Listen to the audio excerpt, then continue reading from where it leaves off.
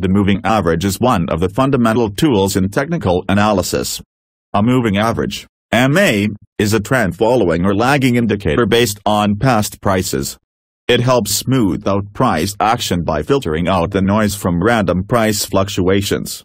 The two of the most popular types are the simple moving average and the exponential moving average. The simple moving average is calculated by averaging prices over a given number of periods.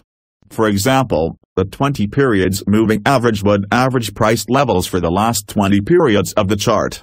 On this following bar, the simple moving average would include the last bar of the chart, omitting the one that previously was the first bar in the series.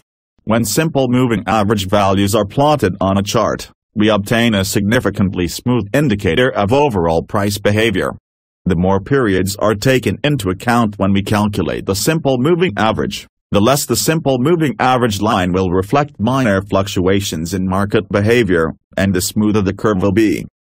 The exponential moving average is calculated by taking the difference between the current price and the previous value and multiplying it by a number dependent on the number of periods taken into account and the result is added to the previous exponential moving average value.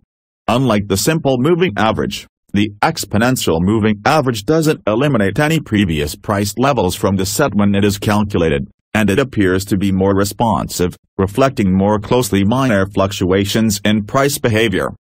The most common applications of the moving averages are to visualize the overall price behavior to identify the trend direction and to determine support and resistance levels.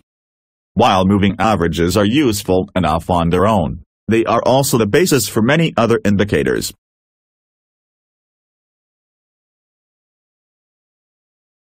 To see more, please subscribe, give us a thumb up and share our clips.